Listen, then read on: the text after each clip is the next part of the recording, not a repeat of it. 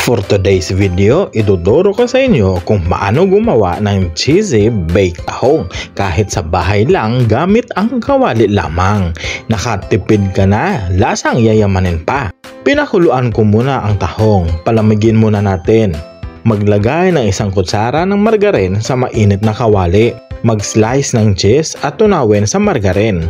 Maglagay ng minced garlic at luya. Tapos haluin ito ng mabuti. Pag malamig na ang tahong, tanggalin ang isang shell, yung walang laman. Iset aside ang may laman. Saka ko ito balamanan ng ating tinunaw na cheese. Siguraduhin lamang na bawat gilid ay nalagyan ng cheese para sigurado na cheesy. Just like this. Isa lang sa kawali, isa lansa ng maayos para pantay ang pagkaluto. Tapos magpahid ng margarin sa gilid ng kawali. Pwede din naman hindi. Sa katakpan, hintayin ng 5 minutes. Look at that! Nakakatakam. Mukhang mamahalin ba?